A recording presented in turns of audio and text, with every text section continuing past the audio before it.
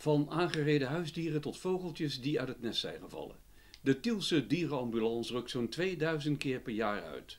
De organisatie heeft zelf geen goede opvang voor de dieren en dat kost veel tijd en geld. Maar als het goed is, komt er binnenkort verandering in.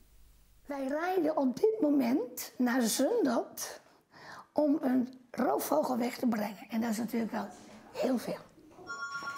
Even wachten. Stichting Dieren, Dierenambulance bij Maya.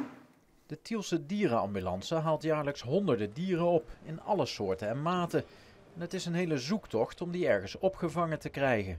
Dus dan moeten we weer naar Amsterdam of naar Utrecht of naar Nijmegen. En dat zijn toch dingen die, ja, die hakken erin, ook financieel. En vaak blijkt zo'n trip naar een gespecialiseerde opvang helemaal niet nodig. Dan komen wij aan en dan controleren ze het dier en is die gewoon verzwakt. Eh, of hij is ergens tegenaan gevlogen. Maar moet gewoon een tijdje met rust gelaten worden, goed eten krijgen. En dan kan hij na eh, een paar dagen weer weg. Nou, dat zijn dus dingen die we hopelijk zometeen zelf kunnen doen. Want de dierenambulance bouwt aan een eigen opvang. Of deze in het najaar ook geopend kan worden, hangt er nog een beetje vanaf. Geld. Het blijft altijd om geld draaien.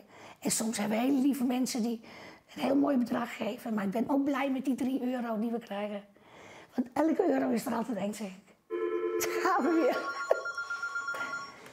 Dieren, Dierenambulance bij Maya.